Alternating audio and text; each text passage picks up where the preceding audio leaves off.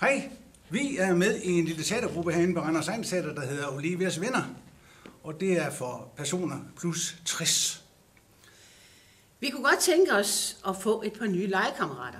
Vi skal starte en forestilling op her i foråret, og hvis du har lyst til at lege med, øhm, gerne vil udfordres og er disponibel i dagtimerne, så skal du prøve at henvende dig til Tine Ejby her på teateret.